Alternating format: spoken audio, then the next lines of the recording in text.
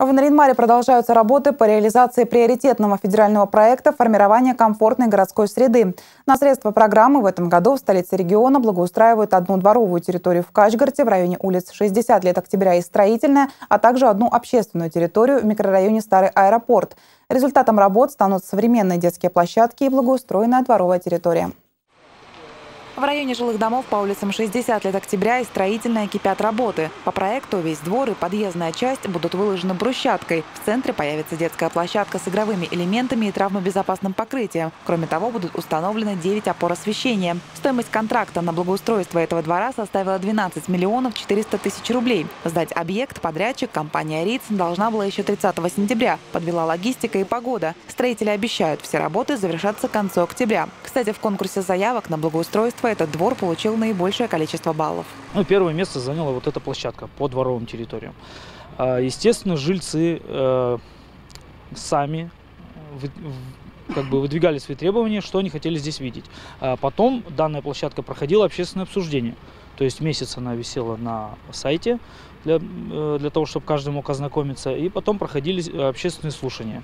То есть э, то, что здесь будет реализовано, это некая квинтэссенция желаний жителей э, благоустроить вот именно таким образом свою дворовую территорию.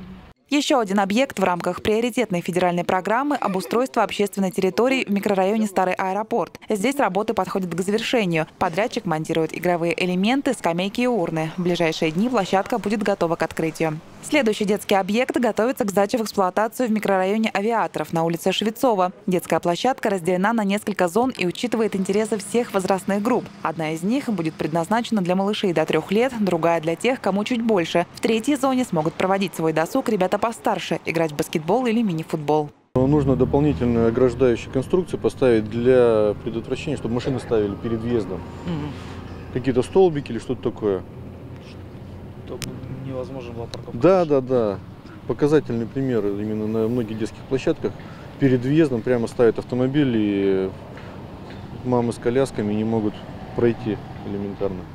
Строительство детской площадки на Швецово финансирует компания «Лукойл Коми» в рамках соглашения. Идея строительства такой площадки появилась после посещения Усинска. Там аналогичный объект появился также при поддержке нефтяников. Ирина Цепетова, Владислав Носкин, телеканал «Север».